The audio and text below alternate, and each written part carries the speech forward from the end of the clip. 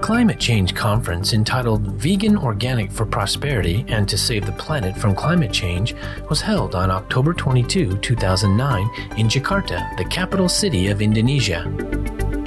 The purpose of the conference was to raise awareness on the grave issues of global warming and the most effective and key solution to halt it in its tracks the vegan diet.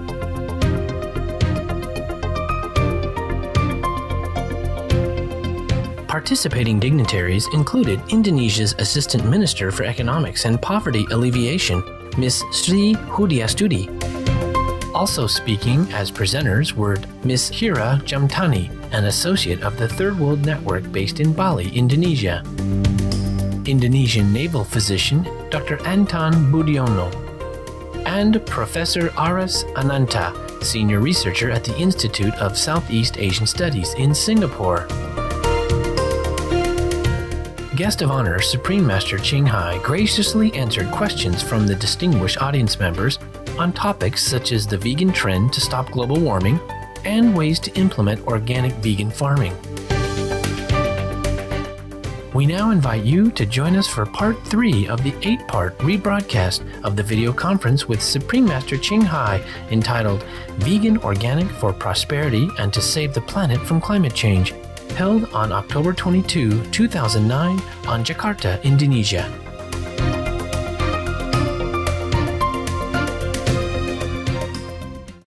Since 1970, droughts of greater intensity and longer duration have been observed across ever wider regions of the planet, especially in the tropics and subtropics. We cannot afford to waste water. Meat production uses massive amounts of water, taking up to 1,200 gallons of fresh water to produce just one serving of beef. Research by University of Chicago professors Dr. Gidon Eshel and Dr. Pamela Martin found that being vegetarian for one year reduces emissions by 1.5 tons when compared to the standard American diet. This reduction is 50% greater than that of switching from an SUV to a hybrid car. So, being veg is more effective than changing your car. In contrast, a full vegan meal requires only 98 gallons of water. Currently, most of our food and water is being consumed by the meat industry instead of by people. However, there is still hope it is such a relief that solution is simple. Just be vegan. And next, we will be hearing from Miss Hira Jhamtani. She will share with us the benefits of an organic vegan diet for improving the welfare of farmers and society as a whole. Ms. Hira Jhamtani is an associate of the Third World Network based in Bali, Indonesia. She is a researcher on environmental issues and is very passionate about her work. Let's give a warm welcome to Ms. Hira Jhamtani.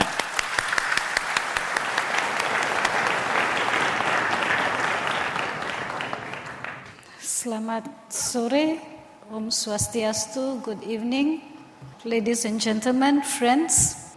I just want to tell you a very sad story, one of those horror stories that you hear when you go out in the fields and meet farmers, okay?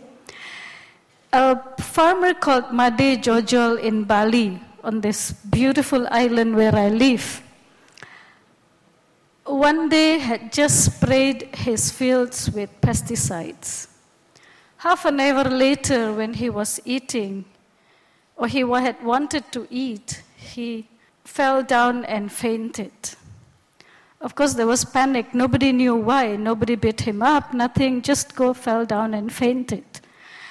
And of course, the family was in a panic and they tried to bring him to the hospital. And he actually died on the way to the hospital. Being in a village, of course, there is this distance between the village where he lives and the nearest hospital. The doctor diagnosed him as being intoxicated poisoning, in other words. Three million people are poisoned every year in the world because of what we use in our fields. And many of us sometimes cannot relate to who produce the food and what, how they produce it to what we eat, especially in the cities. And this is the story about that, which would then relate to global warming issues. So, what we are going to share with you today is the poison in our food and the poverty among farmers, because these are related. Please remember when you eat your food, it is the farmers that produce your food. So, we need to relate to farmers. And why and what is organic agriculture? Also, how does it relate to health, income, and the environment? So, when we talk about the environment, we will relate it to climate change later on. What is happening is, as I said, we are often not aware that we eat food produced by those who are intoxicated by pesticides. Now, if a farmer can fall down, faint, and die, can you imagine the kind of food that is on our table? Yeah, we're talking about farmers who grow our food and dying because of using these pesticides. Then also, our food is produced using chemicals that do not provide nutrition, although sometimes people think of it as medicine for the plants. It is not providing any nutrition, but it actually poses danger to our body. But most importantly, what we do in, in this so called modern agriculture is we are poisoning the very resources that we use for farming our soil and our water. Not only do we have shortage of water, but that little water available is intoxicated. It is poisoned because of what chemicals we put in the water system. And in doing so, what we do is we are endangering our future generation if they survive the climate change. Okay, we are endangering our future generation because of climate change, and if they survive the climate change, we still have to deal with this poisoning of the resources. So, what we have is um, nobody ever counts, no economist anywhere in the world tells us how much money we spend or what is the loss of people that are poisoned by pesticides. These are pictures of what happened to our farmers uh, when they are poisoned by pesticides. And the residue is even in mother's milk, and the research is here in Indonesia, not anywhere else. Okay, these are the figures that we have. At least 14 million farmers we know are intoxicated, although the potential is about 40 million farmers. And also, it has been found that in uh, central Java, women farmers also are prone, 79% more prone to poisoning, uh, to having miscarriage because of the poison. So, as I said, we are also endangering our own children in the process.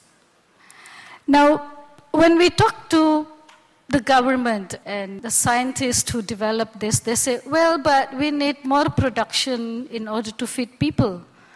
The big question is then why are people still hungry? We saw the video, it was 800 million.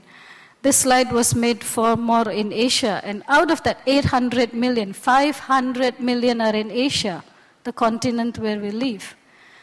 These are hungry people. And when you see who are the hungry people, you will be surprised that it is the farmers who grow our food that also go hungry.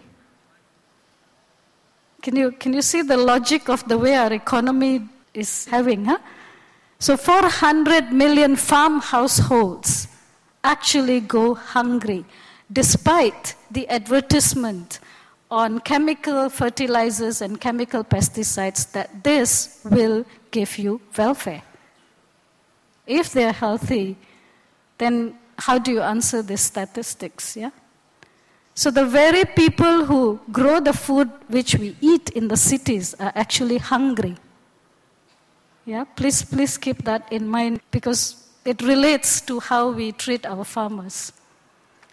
And because of the inequity, this whole modern system actually benefits the large farms and not the small farms. And because of the inequity, the smaller farmers go into debt. So this is what happens, yeah? So we have more production but less welfare.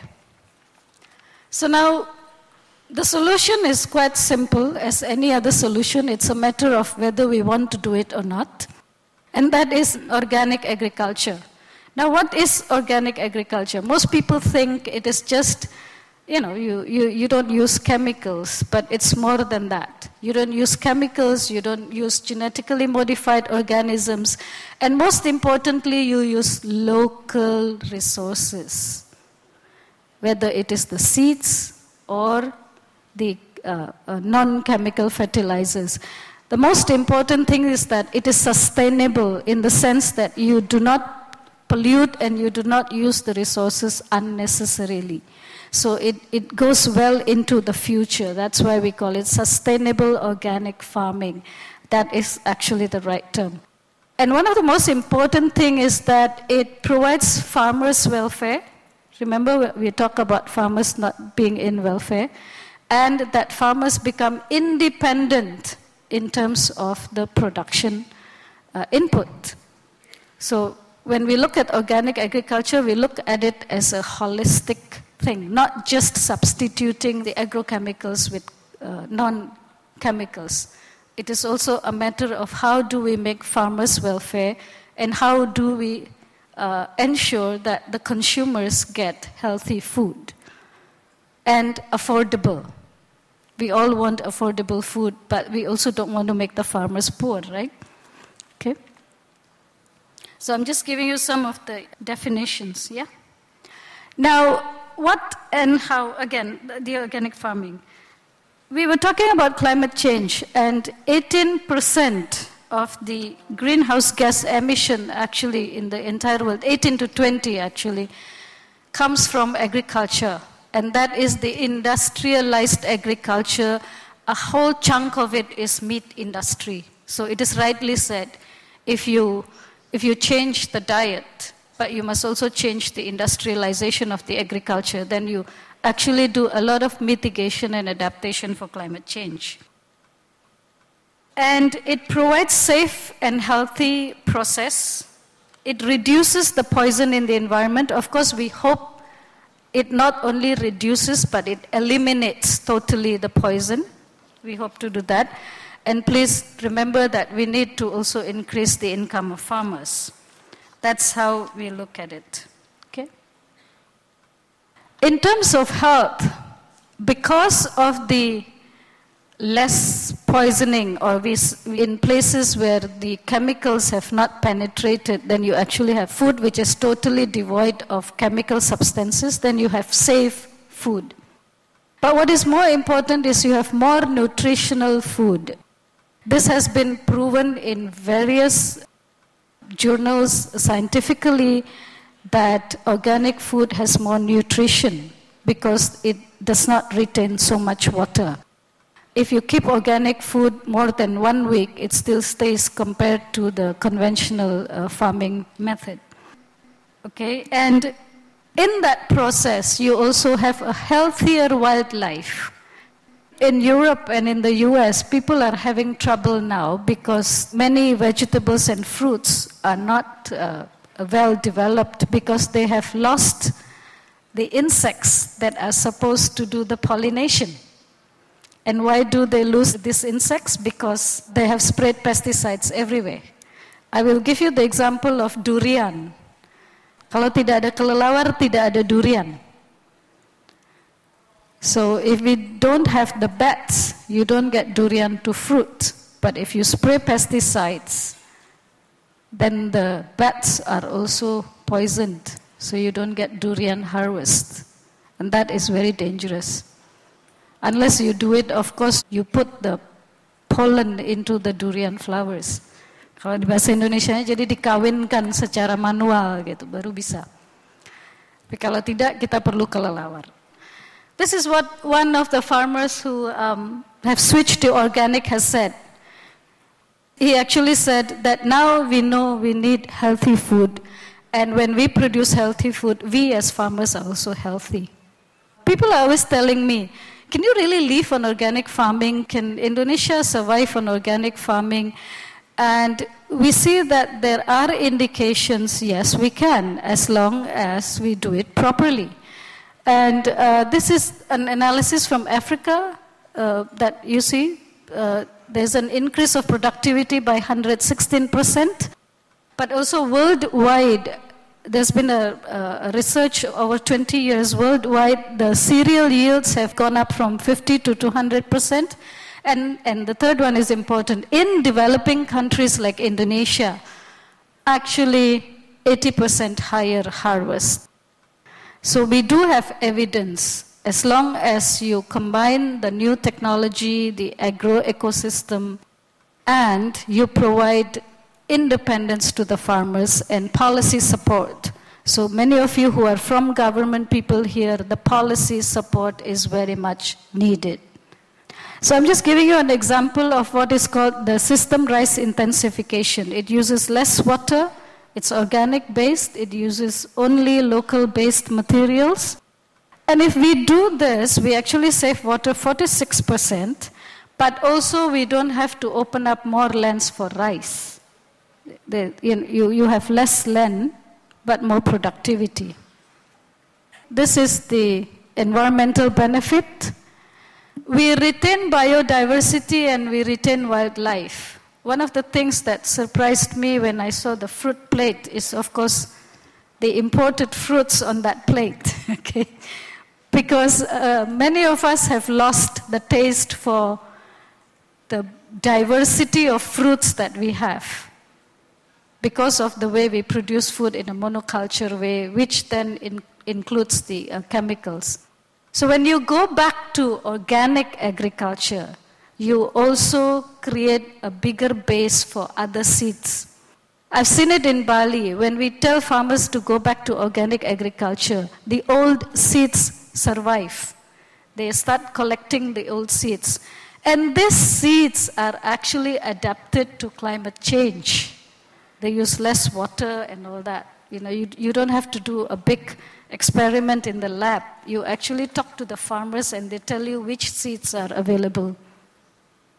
This is another study in the Philippines. What we are going to say is that it is not just the income, but the fact that farmers are more organized and they become more independent. That's why I use the word welfare.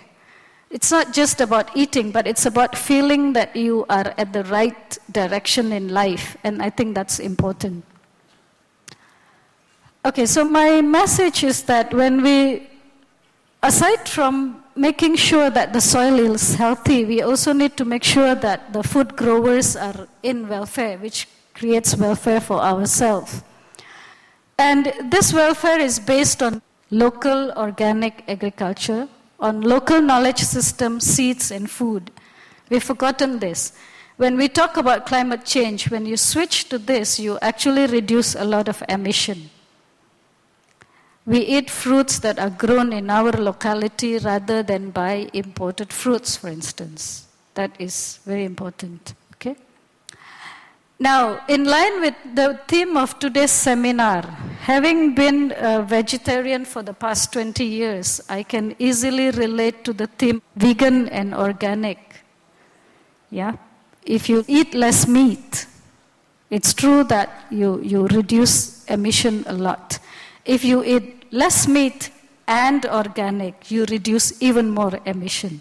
If you eat less meat, organic, and local, you reduce even more emission. And this is a solution that you can do at the individual level, that you don't wait for the experts or the government to do anything. It's a choice. You can make this choice. And I think this seminar is very valuable in teaching us towards that. That you make that choice. Because 80% of the emission in industrialized farming actually goes into meat production. And one of the reasons why I became vegetarian was the inequity in which animals are fed with grains that should have gone to humans. Yeah? So you're actually depriving people when you eat meat, depriving hungry people of their grain. And I think that's a serious issue that we need to take up ethically at our own individual life. Okay, so now we do have a vision. You know, we, we saw Ibu Amanda's uh, uh, presentation about climate change, how bad it is. And so we want to see our children like this refugees in 2050. Everything now the experts say 2050. Or do we want to see this? Okay? The vision is your choice. I have made a choice. I want to see this baby grow in an organic way. So you make your choice. Thank you very much.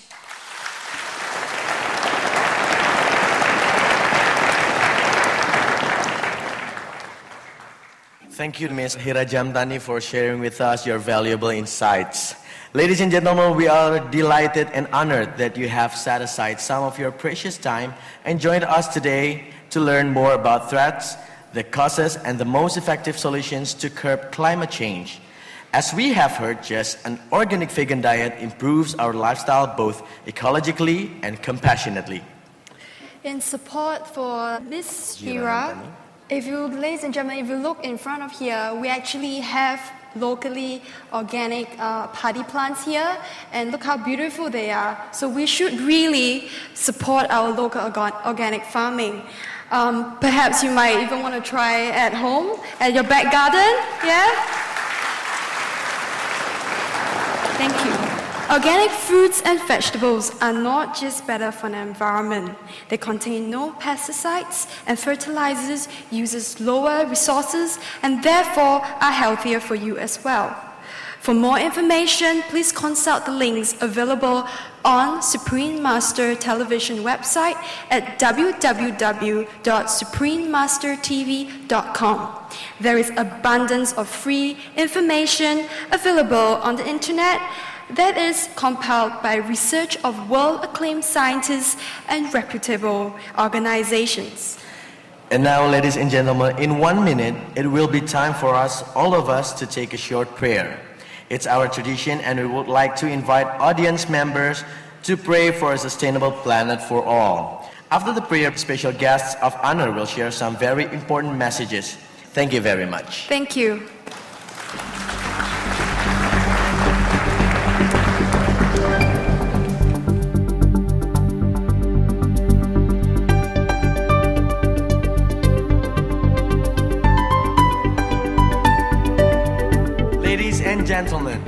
Distinguished guests, and worldwide viewers, welcome back to our seminar, Vegan Organic for Prosperity and to Save the Planet from Climate Change. We need to raise awareness amongst all people, both here in Indonesia and around the world. Let us spread the word to our friends and relatives. We pray that many more will join us in changing their daily eating habits and adopt a frugal lifestyle. If everyone on this planet makes the effort and changes, food shortage problems will be greatly solved and greatly accelerating our planet's healing process. Time is crucial. We must all do our part to save the planet. Being vegan is not only for prosperity and posterity, but it is also very healthy for us. It gives me great pleasure to introduce our next speaker, Dr. Anton Budiono, who, as a medical doctor, is someone who cares very much about both our health and the health of our planet.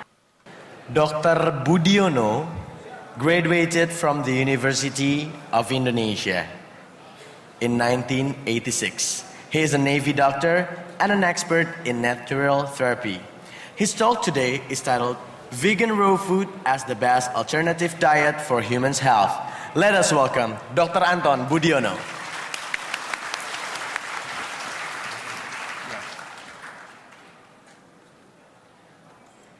Baik, selamat sore hadirin yang saya hormati. Eh, saya akan membawakan beberapa keuntungan yang menjadi vegetarian dipandang dari aspek kesehatan. Ada dari pembicara yang lain memberikan pandangan bahwa oh vegetarian itu memang perlu berdasarkan mungkin dari emisi atau dari apa sudut pandang yang lain. Saya akan bawakan menurut pandangan aspek kesehatan. Ini adalah bagian besar dari pengalaman saya waktu praktek di klinik. Ya biasanya banyak pertentangan antara oh apakah perlu jadi vegetarian atau tidak. Demikian juga saya waktu waktu belum jadi vegetarian, perlu enggak kita jadi vegetarian? Apakah enggak makan daging itu katanya lemes? Nah itu saya coba uh, jajaki bagaimana mencari jawaban yang benar. Nah, kemudian uh, dalam hati kecil saya berpikir bahwa saya menjadi, harus menjadi satu seorang yang makan sayur. Kenapa? Karena saya tidak tega melihat ada ayam disembelih, ada sapi disembelih itu. Zaman mudanya suruh kerja, tuanya bukan dipiara dengan baik malah disembelih. Saya rasa itu kan tidak adil. Nah, kemudian saya berpikir ini jangan-jangan salah nih kalau makan begini. Nah, selama pencarian bisa didekati dengan dua cara. Dengan sains dengan basic agama. Yang saya, saya ikuti adalah kebetulan saya adalah seorang Katolik. Saya coba baca, baca cari apa sih sebenarnya e, jalan hidup yang benar mulai dari aspek makanannya. Nah, kemudian di Alkitab saya temukan bahwa e, dilihat dari awal penciptaan, kalau kita kembalikan ke arah penciptaan kita yaitu Tuhan kita ya pasti benar kan logikanya begitu. Nah, saya baca di situ hari pertama apa? Adalah terjadi pemisahan terang dan gelap dulu. Kemudian hari kedua pembentukan cakrawala yaitu pemisahan antara udara dengan air. Kemudian daratan dan setelah ada daratan kemudian ada tanaman. Kemudian diciptakan pagi dan petang. Kemudian diciptakan hewan, selanjutnya manusia. Kemudian hari ketujuh adalah Venus. Ini menurut kepercayaan saya anut ya. Ini ada di Alkitab adalah pada kejadian bab 1 ayat 29. Uh, Tuhan mengatakan dengan firman-Nya bahwa lihatlah aku memberikan kepadamu ini kepadamu masih kepada manusia. Segala tumbuh-tumbuhan yang berbiji di seluruh muka bumi dan segala pohon-pohonnya buahnya berbiji dan ditegaskan di situ itulah yang menjadi makananmu. Ya, jadi di sini sudah tegas bahwa itulah jadi makananmu adalah nomor satu adalah buah-buahan dulu. Nah, kemudian selanjutnya pada kejadian bab 3 ayat 18 Semak duri dan rumput duri yang akan dihasilkan bagimu dan tumbuh-tumbuhan di padang akan menjadi makananmu. Jadi setelah pertama dikatakan buah-buahan, kedua adalah sayur karena di sini sebenarnya tumbuh-tumbuhan. Jadi kesimpulannya adalah bahwa sejak awal penciptaan sudah diciptakan manusia adalah menjadi makhluk vegetarian. Gitu. Ya, kemudian setelah ada terjadi pembunuhan, darah tertumpah di bumi, lah saat itulah manusia jadi ganas mulai ada pembunuhan darah tertumpah di bumi termasuk juga mulai makan hewan. Ya kalau zaman sekarang paling gampang ya dilihat lah. Banyak yang makan yang namanya itu 4B ya. B1 itu apa sih? Saya dulu tidak tahu. B1 ternyata itu biang. Ternyata anjing dimakan. Wah ngeri dengar begitu. Karena saya tuh pencinta anjing. Kedua ada B2 apa sih B2 babi ternyata tuh. Ya babi makan babi kemudian anjing dimakan Ketiga bahwa ternyata bayi itu juga dimakan loh. Ya, sempat lagi yang enggak, ada yang tidak makan babi tapi ya waktu maaf ya saya bilang babu dimakan ya kan kacau lagi. Jadi ruwet babu dimakan pada bujang babu diterjang ya udah susah lah. Makin lama makin acur e, manusia itu. Karena sejak awal sudah tidak menuruti apa yang sudah ditetapkan oleh yang kuasa itu ya. Nah ini kita pandang bahwa tadi eh, mungkin sudah diantarkan oleh pembicara dahulu bahwa industri peternakan itu menyumbang kira-kira sekitar 18 sampai 20 persen dari total emisi yang diproduksi oleh eh, manusia. Kemudian transportasi adalah sekitar 13 persen. Nah, dari sini ketahuan bahwa sebenarnya sumber utama bukan emisi dari karbon dari pembakaran mesin, tapi justru pada industri peternakan yang akan menyediakan kita eh, ketersediaan daging hewan. Nah, Tadi juga sudah diumatkan juga bahwa mengurangi konsumsi daging dengan memperbanyak konsumsi produk pertanian adalah salah satu cara agar kita bisa menyelamatkan bumi. Jadi kita sudah hanya final countdown, makin lama makin turun tinggal habis. Cuma moga-moga kita yang jadi vegan itu selamat semua. Ya, karena ditolongi yang kuasa itu. Ya, kan kita tidak tahu ya. Sehat, sehat, sehat. Tapi mau sehat, otaknya benar ya. Moga-moga doanya diterima ya. Nah, sekarang saya masuk ke sedikit ke, ke bidang kesehatan yang saya dalami bahwa manusia itu sebenarnya paling gampang dilihat dari e, kalau sakit apa, kalau sehat apa. Ya. Kalau dikatakan sakit itu ditemukan bahwa pada pemeriksaan darah atau urinnya dia pasti bersifat asam. Nah, asam itu apa? Kalau e, di ilmu kimia bahwa tujuh netral, di bawah tujuh adalah asam, di atas tujuh adalah alkali hampir semua pasien cancer yang saya temui pH-nya pasti empat setengah atau lima setengah. Jadi jauh di bawah uh, pH ideal yang dikatakan sih adalah 7.35 sampai 7.45. Termasuk juga penyakit-penyakit yang katanya kronis tidak bisa disembuhkan. Itu kuncinya cuma satu. Jadikanlah darah Anda alkali. Lah caranya gimana? Gampang. Yang asam kita singkirkan, yang basah kita tambahkan. Kan cuma begitu. Dan nanti berjalan dengan waktu dia akan memutar roda yang katanya sakit itu menjadi sehat kembali. Ingat bahwa manusia itu adalah suatu komputer, super komputer yang luar biasa pinternya. Kasih makan yang benar, selesai. Dia akan ngatur sendiri semua. Cuman kalau e, di sini peran seorang kalau tenaga kesehatan yang bidang bidangnya herbal hanya bisa mempercepat proses. Artinya apa? Kalau sakit liver jadi vegetarian sembuh, sembuh, cuma lama. Tapi dengan adanya tenaga herbalis ini kita bisa, oh herbal ini spesial untuk liver, untuk membantu organ lain, itu bisa kesembuhan dipercepat, sangat dipercepat. Tapi kalau tidak kenal dokter udah tidak usah, tinggal vegetarian aja pasti sembuh kok itu. Tinggal tunggu waktu dan percaya. Ya, percaya, ya saya akan sembuh dengan begini. Ya. Oh bilang penyakit kanker, katanya penyakit yang tidak bisa disembuhkan, ya sini tak kasih waktu tiga bulan, mesti baik. Ya, nah itu tadi pesan saya di sini, tolong jangan makan yang asam, jangan makan daging. Kemudian makanan yang diolah dengan minyak dan dikeringkan itu pasti asam. Gula itu asam. Karena makanan kemasan itu pasti pengawetnya asam, asam benzoat, asam sitrat. Ya, dimakan aja dia susah asam, nah itu tidak benar loh. Tapi kemudian ada pertanyaan, apakah yang namanya jeruk itu kan asam, apa dalam tubuh jadi asam? Tidak, itu hebatnya. Kalau tumbuhan, walaupun dia pertama asam, tapi di dalam tubuh dia berubah jadi basah. Rasa asam itu membawakan uh, dia nanti harus berperan di sini gitu. Itu jadi rasa asam itu bukan di dalam jadi asam, tapi menarik ke zat-zat aktif yang ada di tumbuhannya rasanya asam itu pada lever gitu. Ternyata dia di dalam tubuh bukan asam, jadi kita minum jeruk pun boleh dia diubah akan jadi basah. Khususnya setelah minum e, cari buah yang asam itu kita e, olahraga, dia akan terbakar dan menjadi basah semua. Ya, jadi tidak ada yang salah makan sayur buah walaupun itu rasanya asam pasti di tubuh akan menjadi basah dan itu adalah identik dengan kita menjadi sehat mental dan sehat fisik itu. Nah, jika Anda mengalami gejala ini berarti badan badan Anda sudah mulai asam. Coba dilihat dulu sering kembung konstipasi. Ini banyak, banyak sekali di, di klinik.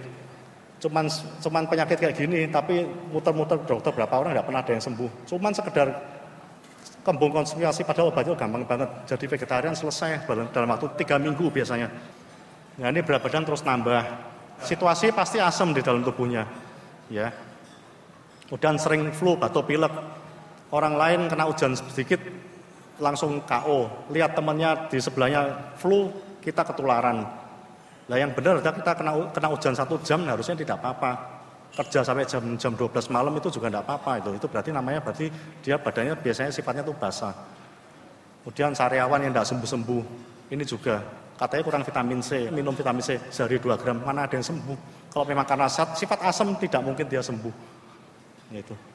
Kemudian udah lelah kurang energi ini juga. Jadi bangun pagi bukannya seger, tapi lihat bantal pengennya masih ambruk terus, saya mau pengen tidur. Nah berarti badannya itu pasti asam gitu. Ya kulit terus bermasalah, kulit merah-merah atau suatu penyakit namanya psoriasis, eksem gitu.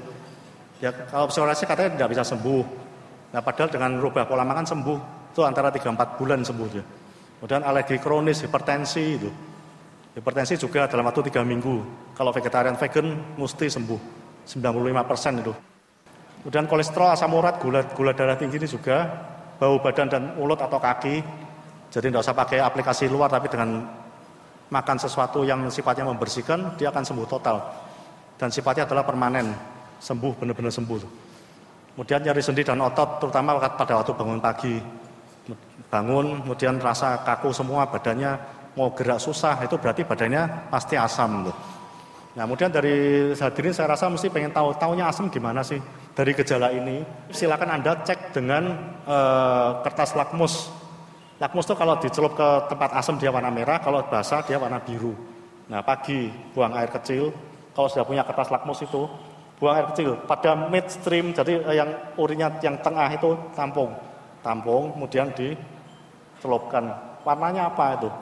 Kalau warna merah, kita pasti asam. Nah silakan sakit. nah kalau warnanya biru terus sembuh.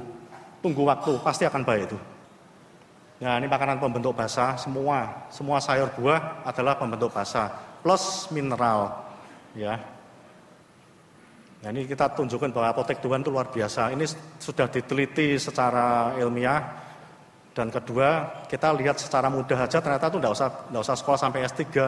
lihat aja sebentar sudah tahu langsung itu. Karena kita tuh ternyata tuh sudah diberi suatu sinyal bahwa ini untuk apa, ini untuk apa tuh.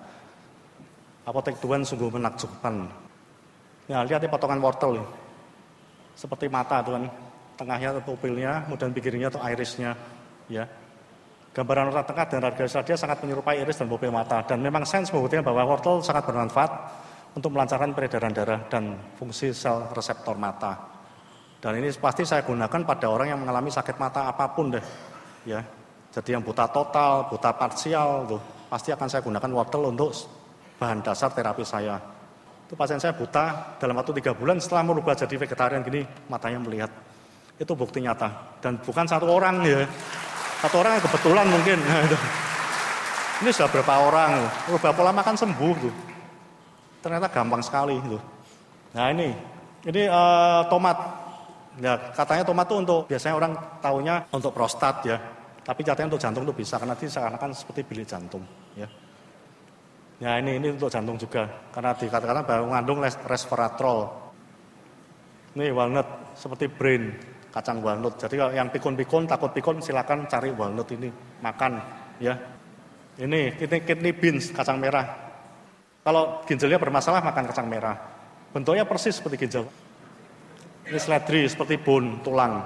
Jadi yang sakit tulang, sakit otot, eh, rada nggak sendi silakan cari seledri makan yang banyak ya apokat. Nah, ini seperti organ genital wanita ya. Jadi kalau ada yang beres sama menstruasi sakit silakan cari ini makan yang banyak tuh. Ini uh, buah arah. Ini jadi kalau mando impotensi cari ini makan ya. Nah, ini ubi manis ini seperti pankreas. Jadi orang diabetes makan manis boleh tapi dari ubi itu. Zaitun itu hidung telur. Jadi yang menstruasi tidak karuan tuh silakan cari zaitun. Minyaknya boleh, zaitunnya sendiri dimakan juga boleh. Ya ini bagi yang wanita kalau ada keluhan kelenjar payudara sakit pada waktu menstruasi atau apa silakan minum jeruk yang banyak. Karena riset itu dia mengandung limonin anti kanker payudara. Bawang merah ini sebagai pembuang toksin dalam sel, memulihkan kerusakan dinding sel akibat radikal bebas. Nah ini sebenarnya untuk pembanding supaya Anda tuh jadi vegetarian. Kasih atas perhatian.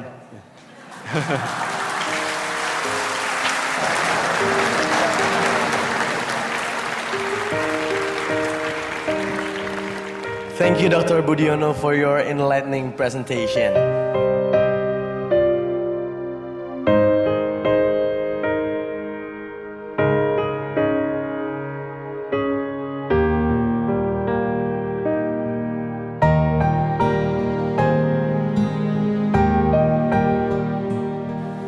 Juga belum paham banget sih sebenarnya soal global warming dan salah satu yang saya datang juga memang untuk mempelajari itu.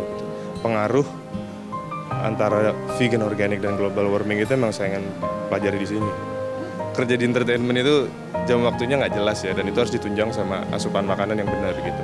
Ya mungkin dengan vegan organic ini bisa bisa menunjang kerja saya juga. Sekarang kayaknya eh, masyarakat harus lebih pikiran terbuka ya untuk hidup sehat. Hi, I'm Fedi Nuril. I'm an actor. Be veg, go green, and save the planet.